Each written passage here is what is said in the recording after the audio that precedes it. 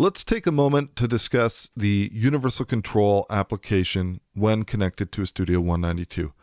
So I've got my Universal Control launcher open over here. Currently only have one audio interface being the Studio 192 connected to the system.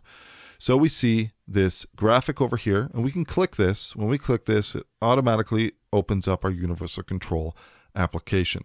Now I want to try to go over as much as I can in this particular application without overloading you. So let's start with the basics. Any channel that you have selected in the console of the Universal Control application, you'll notice that we have all of the parameters up top here. We have our gate, our compressor, our EQ, and our limiter. So for example, if I select channel 1, here would be all of the fat channel settings available for channel 1. I'm currently on channel 3 with my voiceover microphone, and in addition to being able to adjust the fat channel, you can see that I can also adjust my levels. So I can bring things up or down in terms of increasing or decreasing what I'm hearing. Now, it's also worth mentioning that we have numerous different mixes that we can listen to. And each of these mixes are routed to a pair of outputs. So for example, I'm on my main mix right now, which is the exact same mix that's connected to my main speakers.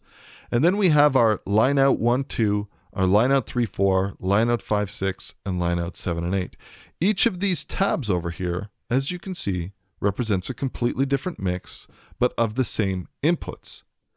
If I wanted to copy a mix, so for example, let's say I wanted to copy my main mix, and I wanted to have that mix come out mix 7 and 8, which is connected to a headphone amplifier of some sort, I could just click paste mix. Now you'll notice if I click mix 7 and 8, it has the exact same mix as my main mix.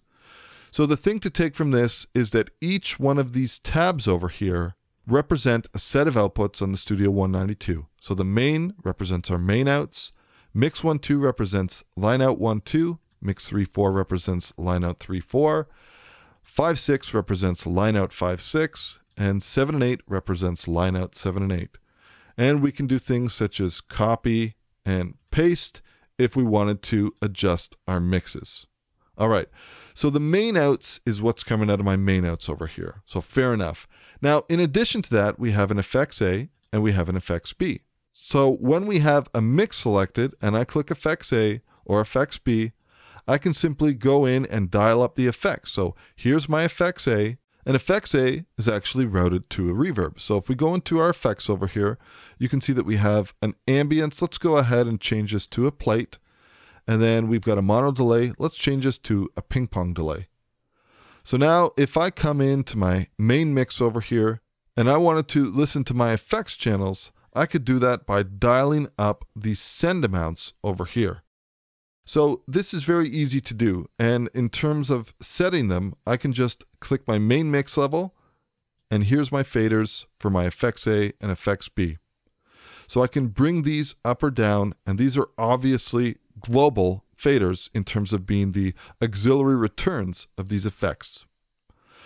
So next up, let's go ahead and let's just click this channel over here. If we click this little arrow icon, you'll see we have talk, talk assign, mutes, effects A mute, and effects B mute. Now these are really handy to have available here as well.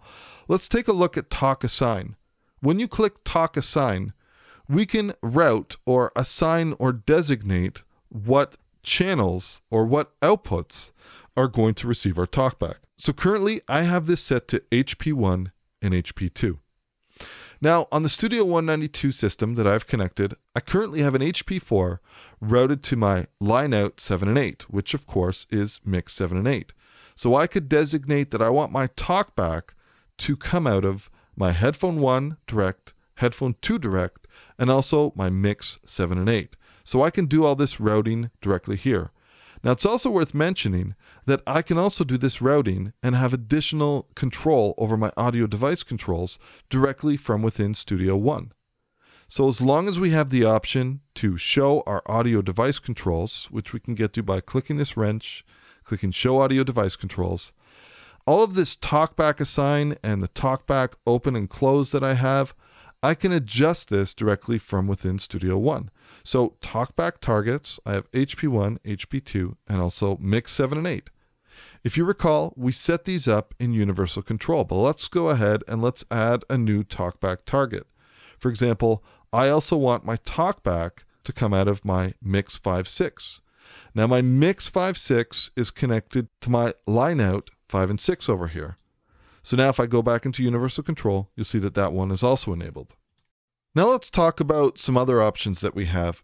If we click these gear icons, either the one in the top right, which is kind of a global system setting or preferences, we have some additional information. So for example, I could choose to show or hide my ADAT.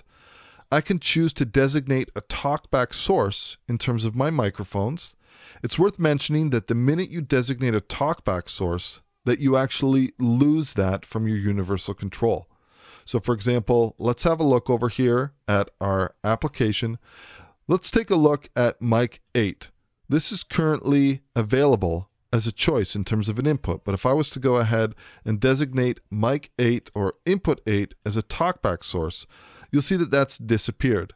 That's because when you assign it as a talkback source that it automatically takes over and that's no longer available as an input in terms of being able to use that to record. Now, it's also worth mentioning that we also have an onboard mic as well on the Studio 192. So that if we don't want to use up one of our inputs, we can use the onboard mic. But it's worth mentioning if that your Studio 192 is in a rack anywhere from five or more feet away from you, that you will also hear all the ambience of the room and that you'll have to boost your gain quite high in order to be able to hear this. Now, next up, I want to take a look at the option that we have over here, this gear icon. So for example, let's say that, let's just choose my mic that I'm using right now for my voiceover. Let's go ahead and let's close all of our headphone routing. We don't need to see any of that. So we'll go back to our main mix over here. So if I select this channel, which currently has my voiceover mic, and select this gear icon, First of all, you'll notice that we have all of these different icons that we can use. So I currently have this set to a mic, but I could easily change that to speech and we can scroll up or down to get more choices available. So for example, if this was something different, like for example, if it was snare drum, I could choose that. So we have the option to choose these different icons, which can be visually helpful in terms of setting up a mix. Now we can obviously choose these different categories if we wanted to limit what icons represent themselves. So for example, in vocals now, this kind of just limits it to something that it might be more useful to me. So I could choose vocal mic or lead vocals or whatever the case is. Very easy for me to select these icons.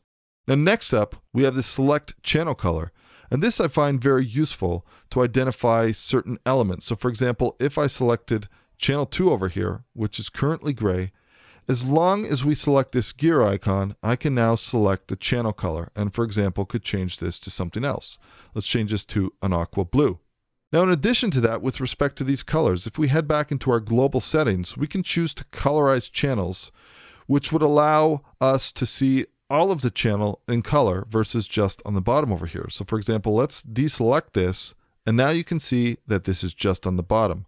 But if I enable this preference, colorize channels, we can see that the whole entire channel strip has the color. Personally, I prefer to work with this method. Now let's talk about pre-send and post-send. Now by default, all of your channels will be set to pre-send. Now what this means is that if you're using universal control to monitor when you're recording, whether you're using Studio One or a third-party DAW, that any DSP-based fat channel effects that you have on the channels you will be monitoring through those, but what actually gets sent out to the record path through core audio is going to be a dry, unaffected signal. So, for example, this particular channel that I'm using for my voiceover mic, if I was to go ahead and engage this EQ, even though I can hear this right now in terms of what I'm monitoring, and if I was to bring up the highs on here, my voice would have a lot of highs on it. Or if I was to, for example, bring them down, my voice would become really dull you're not going to hear anything different because what's being sent to the record path is pre effects, so pre DSP fat channel effects. Now, if I wanted to print the DSP processing that I'm applying and actually send that through the record path, then I can click this gear icon and I can use this post send adjustment. So let's go back in here. I'm just going to boost this up a little bit We'll click this gear. The minute I click post send, you're going to hear a drastic difference in terms of the EQ or the tonality of my voice. So now I don't hear anything different because I've always been monitoring through this, but now this is being sent to the record path. And then again, if I was to go ahead and decrease this, you'd obviously hear my voice get very dull. But if I come back in here and click pre-send, then even though I still hear my voice as being dull, what you are going to be hearing that's being sent to the record path is this EQ move. Let's go ahead and just take this off. So like I said, by default, this is set to pre-send. But if ever you're in a situation where you know exactly what you want, maybe you're just applying some light compression and EQ to your settings and you want to actually print or render those, all we have to do, click the channel we want, click this gear icon, and make sure we click this post send option. That'll do the trick. Next up, let's take a look at the headphone routing. Now, in order to get to the headphone routing, you have to either click either one of these, this one or this one, and then you'll see we have this headphone routing options over here. Now, this can be a little bit confusing, but the way to think about this is the headphone routing allows you to listen to any one of these mixes that you have set up. So currently, I'm connected to headphone 1, and I'm listening to the main mix. If I toggle to mix 1 2, which is the line out 1 2, the Studio 192, and if I was to take this and change this headphone 1 source to mix 1 2, all of a sudden I don't hear anything in terms of my voiceover coming through. Now, obviously, if I was to go ahead and start dialing this up, now I'm starting to hear this mix because I'm actually listening to this low latency mix. And keep in mind, we have all of these different mixes that we can choose to monitor. So I'm going to go and change my headphone source back to my main mix. Now keep in mind that this actually also corresponds and directly correlates to your Studio One as well. So for example, right now, my main outs are assigned as my main outs and they're coming out of my mains in Studio One. So unless I'm using hardware direct monitoring, which we're going to get into in another video, anytime I adjust my headphone 1 source or headphone 2 source from within my DAW, I will be routing my headphone 1 or headphone 2 based upon these mixes in Universal Control. And then last up, we have our basic monitoring function. So we have mono, and as you can see, these are following in Studio One. We have our main dim, and then of course we have our talk option, which we can reveal just by clicking this little arrow. And that of course follows as well in Studio One. And then lastly, whatever input source you have designated within Universal Control for your talkback source, we can adjust the preamp levels either from Studio One. So for example, I'll adjust it here and you'll see that it's updated in Universal Control. Or I can also bring it down in Universal Control, and then you'll see that it's updated in Studio One. And like I said, this talkback volume is based upon which talkback mic source you've designated either in Universal Control or in Studio One. And like I said, this is bidirectional. We can choose any one of these sources as a talkback source. Now, last up, I just want to have one really quick look. For example, if we head over to one mic one over here, and we head over to this drop down section, you can see that we have these different categories where we can choose between, you know, anything from all, drum, percussion, guitar, keys, vocal, strings. So for example, we could choose keys over here and then we could choose Piano Bright, which is a preset, and then we could addition this preset in real time while we're passing audio through it. We could change, and then if we don't like it, we could simply go ahead and reset. So it's very easy for us to choose between these different presets. And if we like it, we can simply exit and now we've essentially loaded that preset onto the currently selected channel that we had. So for example, very easy for us to determine whether we like something. And if we do like it, we can just go ahead and now we've gone ahead and loaded that preset. And this is very easy for us to just toggle between the different categories that we have. For example, guitar, electric bass. We can addition this if we like it, or if we don't like it, we can simply reset it and then exit. And of course, we could do other things as well, such as copying and then potentially moving to another input and then pasting.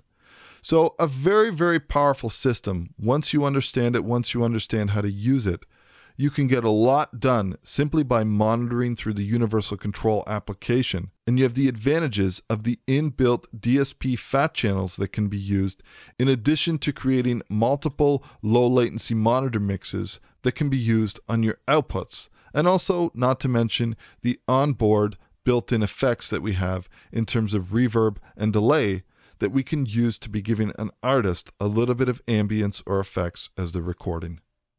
you